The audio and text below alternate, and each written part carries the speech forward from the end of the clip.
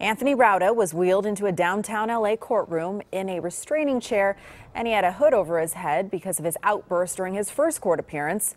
He was sentenced to five and a half months in jail, but he has already served more than three months since his arrest. Rauda expected back in court next month to see if he also violated his parole by having a rifle on him when he was arrested and accused of several burglaries in the Calabasas area. Investigators are still trying to determine if he was involved in the murder of a father at Malibu Creek State Park.